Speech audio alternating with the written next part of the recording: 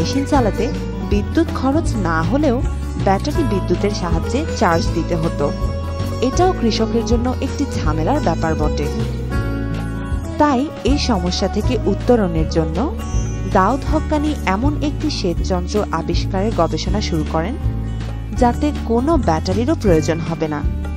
বছর দুয়েকের গবেষণার ফলে তিনি সফলও হন। নতুন একটি সেচ যন্ত্র তিনি তৈরি করেছেন, যেটিতে তেল বিদ্যুৎ কিংবা ব্যাটারিরও প্রয়োজন হবে না। তার এ ব্যতিক্রমী উদ্ভাবনটি সম্পূর্ণই লোহা দ্বারা তৈরি।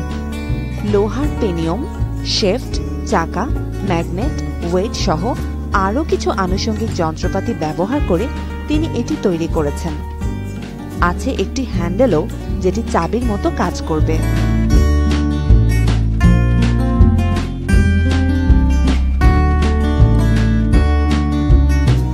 মেশিনটি স্থিতিশীল শক্তিকে গতিশক্তিতে রূপান্তর করবে, তৈরি হবে চলমান শক্তি।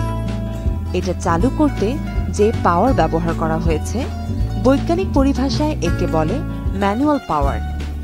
ছোটবেলা থেকেই তিনি এরকম একটি মেশিন তৈরির স্বপ্ন দেখছিলেন।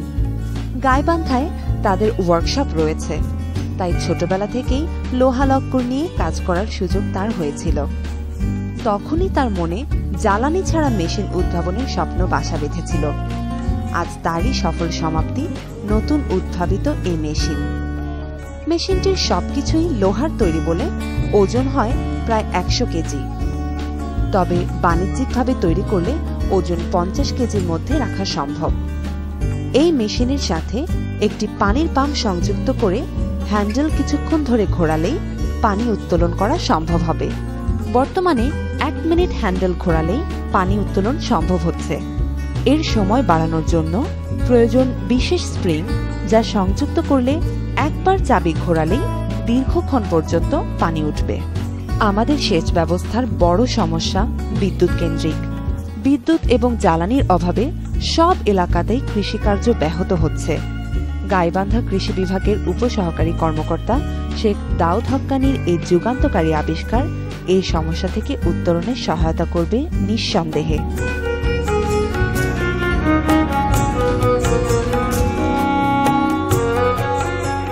এটা কমপ্লিটলি কৃষকদের কাছে পর্যন্ত পৌঁছতে কতদিন পর্যন্ত সময় লাগতে পারে? এটা সময়ের ব্যাপারটা এখন নাই এখানে আমার যেটুকু চিন্তা ভাবনা এবং ধারণা। এখন এটাকে কাজে লাগাতে গেলে একটা সহযোগিতার প্রয়োজন সরকারিভাবে বা কোনো সহৃদয় ব্যক্তি যদি সাহায্য সহযোগিতা করে অর্থের ব্যাপার আছে আর কি।